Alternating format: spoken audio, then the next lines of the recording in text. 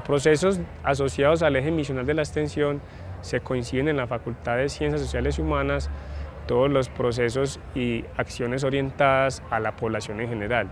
De manera puntual y específica, consideramos como aliados estratégicos actores como entes territoriales, organizaciones sociales y comunitarias y empresa privada.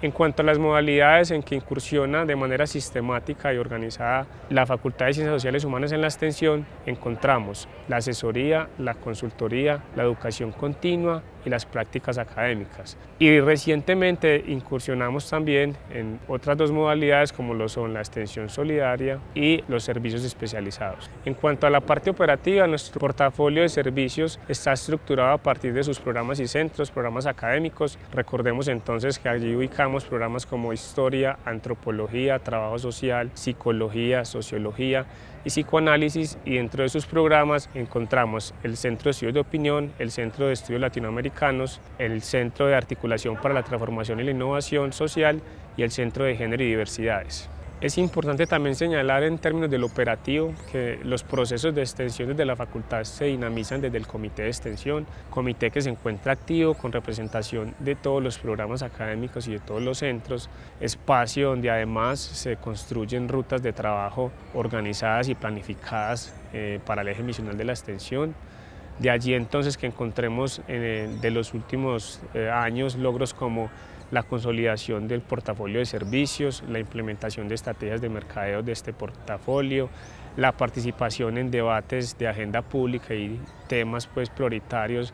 tanto a nivel de ciudad como a nivel regional, participando en proyectos y en construcción de políticas públicas, proyectos por ejemplo como relacionados con temas de juventud, temas de paz, temas de diversidades, eh, mujeres, organizaciones sociales y comunitarias, participación ciudadana, en fin, todos aquellos procesos que están asociados al currículo de nuestros programas. Importante también destacar la manera como al servicio de la extensión en la universidad se articulan otros ejes misionales,